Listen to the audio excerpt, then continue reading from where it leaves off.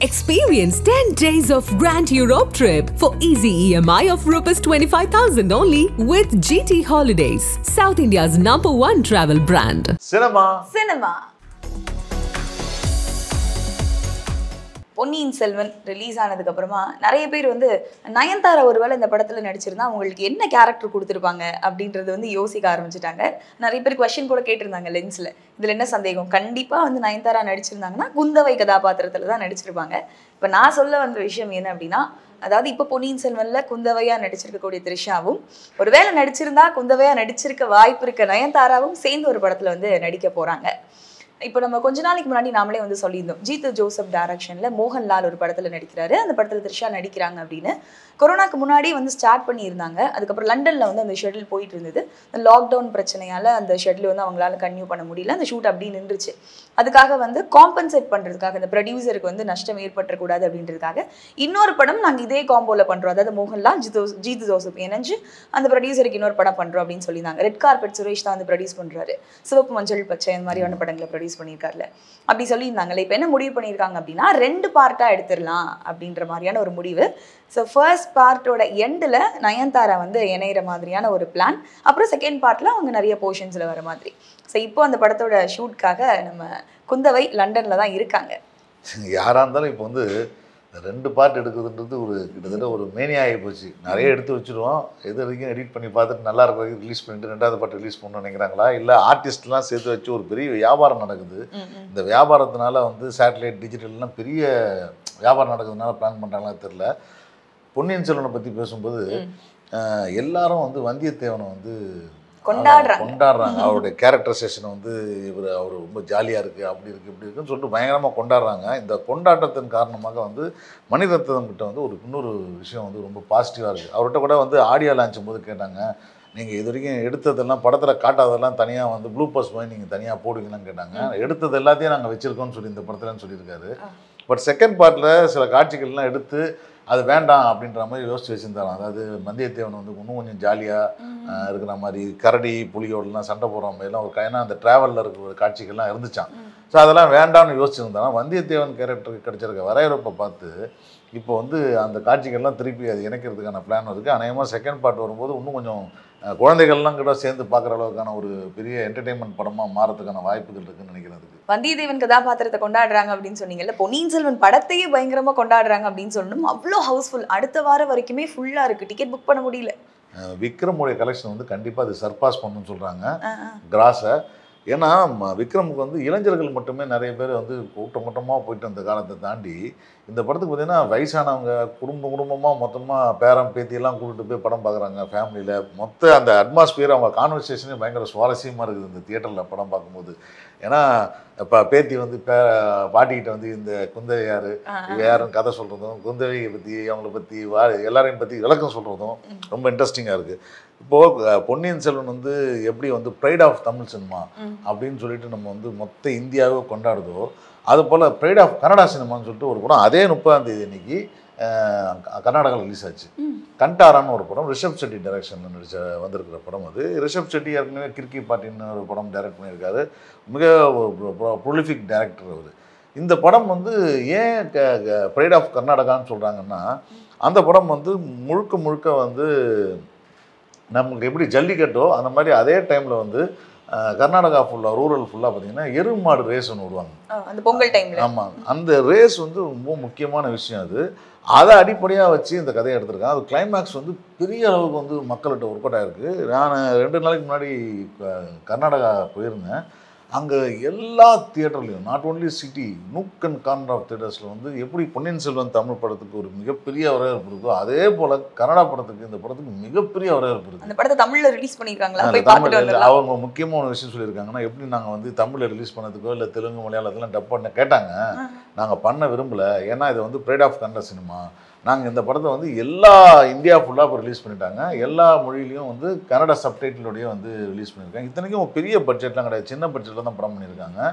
ஆனால் அந்த படத்துடைய ப்ரெசன்டேஷனும் மேக்கிங் வந்து அந்தளவுக்கு பிரம்மாண்டமாக இருக்குது படம் பார்த்தவங்க எல்லாருமே கிட்டத்தட்ட கூஸ்போன் மூமெண்ட் மாதிரி ஃபீல் பண்ணுறாங்க படம் பார்த்துட்டு. நீங்கள் சொல்கிறது பார்த்தா இப்போவே போய் தேட்டர்ஸில் உட்காந்து பார்க்க ஆரம்பிச்சிருவாங்க போல தமிழ் ஃபேன்ஸ் கூட. ஒரு சிலர் ஓகே ஓடிடியில் வந்ததுக்கப்புறம் பார்த்துக்கலாம் அப்படின்ற ஒரு முடிவையும் எடுப்பாங்க. அப்புறம் ஆர்ஜி பாலாஜி ஸோ அவரோட கடைசி படம் அப்படின்னா வீட்டில் விசேஷம் தான் நடிச்சிருந்தாரு. அந்த காம்போ அதாவது சத்யராஜ் அதுக்கப்புறம் ஆர்ஜே பாலாஜ். அந்த காம்போ வந்து மறுபடியும் இணையிறாங்க. ஸோ அந்த படத்துல அவங்களுக்குள்ள ஒரு நல்ல பாண்ட் போல ரெண்டு பேரும் நல்ல ஒரு ஃப்ரெண்ட்ஸ் ஆயிட்டாங்க. அதை தொடர்ந்து அடுத்த படம் பண்ண போறாங்க. அது யாரோட டைரக்ஷன் அப்படின்னு பார்த்தோம்னா காஷ்மோரா படத்தை டைரக்ட் பண்ணியிருந்த கோகுல். அவரை பொறுத்த வரைக்கும் கொரோனா குமார் படத்தை எடுக்க போறாரு அப்படின்றது வந்து கொரோனா ஆரம்பிச்ச காலகட்டத்துல இருந்து வந்து சொல்லிட்டு இருக்காங்க. பட் இன்னும் அந்த படத்தை வந்து ஃபைனலைஸ் பண்ணவே இல்லை. இன்னும் ஷூட்டே ஸ்டார்ட் ஆகல. இன்னும் யார் ஹீரோ அப்படின்றது கூட முடிவாகலன்னு சொல்லணும். ஏன்னா ஆரம்பத்துல விஜய் சேதுபதி நடிக்கிறாரு அப்படின்னாங்க. அதுக்கப்புறம் ஆர்ஜி பாலாஜிக்கிட்டே அந்த கதையை சொல்லியிருந்தாங்க. இவருக்கு ரொம்ப பிடிச்சிருச்சு அந்த படம். இவர் தான் பண்ண போறாரு அப்படின்னு நினச்சப்போ சிம்பு நடிக்கிறாரு அப்படின்ற மாதிரி சொன்னாங்க. சிம்பு வச்சு ஒரு சாங்லாம் கூட ரிலீஸ் பண்ணியிருந்தாங்க. ஆனா இன்னும் அது வந்து ஸ்டார்ட் ஆகல. இவ்வளோ டிலே ஆயிட்டே இருக்கிறதுனால இது உருவாகுமா உருவாகாதா அப்படின்ற ஒரு பெரிய கேள்வியே இருக்கு. இன்னொரு முக்கியமான காரணம் என்னன்னா இது ஏன் உருவாகாது அப்படின்னு தோண ஆரம்பிச்சிருச்சுன்னா கொரோனா வந்து ஒரு பீக்ல இருந்த சமயத்தை பத்தி தான் இந்த படத்துல ஒபியஸா பேசுவாங்க. கொரோனா குமார் அப்படின்றதான டைட்டில் இப்போ கொரோனான்றதே நம்ம எல்லாரும் மறந்துட்டோம். இதுக்கப்புறம் அந்த படம் உருவாகுமா அப்படின்றதே ஒரு கேள்வி. பட் அந்த கோகுல் வந்து இப்போ ஆர்ஜே பாலாஜியும் சத்யராஜ் நடிக்க ஒரு படத்தை எடுக்கிறார்.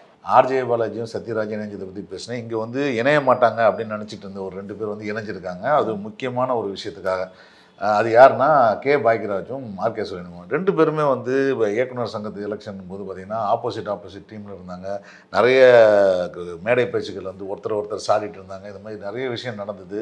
அதில் வந்து இயக்குனர் சங்கத்தில் வந்து அவர் தோல்வி அடைஞ்சார். அதுக்கப்புறம் எழுத்தாளர் சங்கத்தில் வந்து பாக்கியராஜ் மிகப்பெரிய வெற்றி பெற்றார். இப்போது அந்த டைமில் என்ன ஆச்சுன்னா எழுத்தாளர் சங்கத்தில் மட்டும்தான் கதைகளை பதிவு பண்ண முடியும் அதுக்கு முன்னாடி. ஸோ அதே டைமில் வந்து தாய் இயக்குனர் சங்கத்துலேயும் வந்து இனிமேல் வந்து கதைகளை பதிவு பண்ணலாம் அப்படின்னு சொல்லிட்டு ஒரு விஷயத்தை வந்து இயக்குனர் சங்கம் ஆரம்பிச்சிது. இது வந்து ஒரு சின்ன பிரச்சனையை உண்டு பண்ணுச்சு. எழு எழுத்தாளர் சங்கம்னு ஒன்று இருக்கும்போது அதில் அதில் தானே ரெகுலராக பண்ணிட்டு தாங்க இப்போ இங்கேயும் பண்ணோம்னா இந்த நிறைய பிரச்சனைகள் வருமே அப்படின்னு யோசிச்சுட்டு இருந்தபோது இந்த பிரச்சனையை அப்படியே அமைக்கபலாக முடிக்கணுன்றதுக்காக இரண்டு தலைவர்களும் வந்து சந்திச்சாங்க. சந்தித்ததில் வந்து ரொம்ப நியூ நியூட்ரலாக பேசி தயாரிப்பா இயக்குனர் சங்கம் சங்கம் வந்து என்னெல்லாம் கேட்டுச்சோ அந்த மாதிரி எல்லா என்னென்ன இதெல்லாம் கேட்டாங்களோ அதெல்லாமே வந்து பண்ணித்தரோன்னு சொல்லிட்டு முடிவு பண்ணியிருக்காங்க.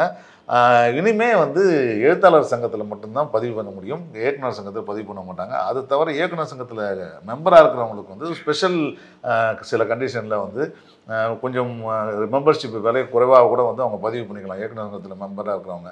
ஸோ இந்த ஆப்ஷனும் கொடுத்துருக்காங்க. அதனால் பாருங்கள் ரெண்டு தலைவர்கள் ரெண்டு பேர் ஆப்போசிட் ஆப்போசிட் இருந்தாலும் பொறுப்பு உணர்ந்து அந்த அந்த பொறுப்பில் வந்ததுக்கப்புறம் ரொம்ப அழகாக கரெக்டாக வந்து பேசி அமைக்கபுல்லாக முடிச்சது வந்து சந்தோஷமாக இருக்குது ஸோ மெச்சூர்டாக இருக்க ரெண்டு பேர் வந்து இணைஞ்சாங்கன்னா அது எப்படிப்பட்ட ஒரு மாற்றத்தை ஏற்படுத்தும் அப்படின்றதுக்கு இது ஒரு உதாரணம் அப்படின்னு சொல்லலாம். ஸோ பொன்னியின் செல்வன் அடுத்த வாரம் வரைக்கும் ஃபுல்லாக இருக்குது அப்படின்னு சொன்னோம் இல்லையா? அதனால் நம்ம இன்னும் ரெண்டு வாரத்துக்கு பொன்னியின் செல்வன் பற்றி தொடர்ந்து பேசிக்கிட்டே இருக்க வேண்டிய இருக்கும் அப்படின்னு நினைக்கிறேன். படம் ரிலீஸ் ஆகிறதுக்கு முன்னாடியே பாசிட்டிவான விமர்சனங்கள் இருந்தது எதிர்மறையான விமர்சனங்கள் இருந்தது. ஆப்வியஸாக படம் ரிலீஸ்க்கு அப்புறமும் அதே மாதிரி தான். நிறைய பேர் வந்து படம் ரொம்ப நல்லா இருக்குன்னு சொன்னாலும் ஒரு சிலர் ஆரம்பத்துல இருந்து படம் குறை சொல்லிக்கிட்டே இருக்கவங்க இன்னும் வந்து ஒரு சின்ன சின்ன குறையெல்லாம் சொல்லிகிட்டே தான் இருக்காங்க. என்ன சொல்கிறாங்கன்னா புக்கில் இது மாதிரிலாம் இல்லை. புக்கில் இல்லாத விஷயங்கள் இருக்குது இது இப்படி பண்ணியிருக்கலாம் அது அப்படி பண்ணியிருக்கலாம் அப்படின்ற மாதிரி இப்படிலாம் பேசுவாங்க அப்படின்னு இயக்குனர் மணிரத்னம் அவருக்கு தெரிஞ்சிருக்காதா? ஏன்னா அவர் வந்து ப்ரொமோட் பண்ணும்போதே நம்ம அந்த போஸ்டர்லேயே பார்த்தோம் அப்படின்னா அதாவது படத்திலே பார்த்தோம் அப்படின்னா பேஸ்ட் ஆன் கல்கிஸ் பொன்னியின் செல்வன் தான். ஸோ கல்கியோட பொன்னியின் செல்வன் அப்படின்னு எடுக்கல. கதையில் கூட மூலக்கதையும் தான் போட்டிருக்காரு. அதனால இது வந்து ஒரு எண்பது பர்சன்ட் புக்காக இருக்கும்போது இருபது பர்சன்ட் மணிரத்னம் அவர்களோட விஷயம். நான் என்ன சொல்கிறேன் அதாவது இப்போ சோஷியல் மீடியாவில் நடந்துட்டு இருக்கக்கூடிய விவாதம் இது. ஒரு சிலர் வந்து இப்படி சொல்கிறாங்களா அதுக்கு வந்து ஒரு சிலர் பேர் ரெஸ்பாண்ட் பண்ணுறாங்க என்ன சொல்லிட்டு இருக்காங்கன்னா இந்த பொன்னியின் செல்வன் அப்படின்றது வந்து பொது உடைமையாக்கிட்டாங்க. இவர் தான் எடுக்கணும் அவர் எடுக்கக்கூடாது அப்படின்லாம் இல்லை. இது மாதிரி விமர்சனம் பண்ணுறீங்களே நீங்கள் வந்து மறுபடியும் ஒரு பொன்னியின் செல்வனை எடுங்க. நாங்கள் எத்தனை தடவை வேணால் பொன்னியின் செல்வனை பார்க்கறதுக்கு தயாராக இருக்கோம். நீங்கள் வந்து அப்படியே கல்கி என்ன எழுதியிருக்காரோ அதை அப்படியே படமாக எடுங்க. நாங்கள் பார்க்குறோம் அப்படின்னு சொல்லி இது மாதிரியான ஒரு கருத்து மோதல் நடந்துட்டு இருக்கு. நல்ல விஷயம்தான். இது வந்து நாட்டுடைமை ஆகினதுக்கப்புறம் இன்னொரு பஞ்சாயத்தோட உருவாக்கிட்டு இருக்காங்க நாட்டுடைமையான ஒரு ஒரு நாவல் இது அதை அந்த குடும்பம்லாம் சேர்ந்து தான் முடிவு பண்ணி கொடுத்துருக்காங்க. இப்போ திடீர்னு வந்து மணிரத்னம் வந்து இந்த கதையை எடுத்ததுனால ஏன் வந்து கல்கி குடும்பத்துக்கு ஏதாவது கொடுக்கணும் அப்படின்னு சொல்லிட்டு ஒரு புதுசாக ஒரு கட்டுரையெல்லாம் புரட்சியாளர்கள்லாம் உருவாகியிருக்காங்க ஸோ பொன்னியின் செல்வனுக்கும் பஞ்சாயத்துக்கும் வந்து முடிவே இல்லை போல. பஞ்சாயத்து கூட part one part two part த்ரீன்னு வரப்போகுது சரி இப்போது பொன்குமரன் வந்து ஒரு படம் டைரக்ட் பண்ணுறாரு. அதில் வந்து வேதிகா நடிக்க போகிறாங்கன்னு. சொல்லணும் அதோட த ஹீரோ யாருன்னு வந்து பார்த்தீங்கன்னா பிரபல தயாரிப்பாளர் ஜெயஹிந்த் படத்தில் எடுத்த செயின்ராஜ் ஜெயனுடைய பையன் வந்து கிஷன். அவர் ஏற்கனவே ஒரு படம் நடிச்சிருக்காரு. அஷ்டகர்மா ஆ. ஆமாம் அந்த படத்தில் நடிச்சிருக்காரு. அவர் தான் இந்த படத்தில் ஹீரோ நடிக்கிறார். இந்த படம் வந்து ஒரு ஹாரர் த்ரில்லராக அது. ஓகே ஸோ வேதிகா ஒரு நாளுக்கு அப்புறம் ஸ்க்ரீன்ல பார்க்கலாம்னு வெயிட் பண்ணிட்டு இருக்கவங்களுக்கான தகவல் இது. ஆமாம் பரபரப்பான சினிமா செய்திகள் நட்சத்திரங்களின் பேட்டிகள் சினிமா வரலாறு ஆகியவற்றை பார்க்கவும் படிக்கவும் உங்களுக்கான இணையதளம் tour and talkies dot co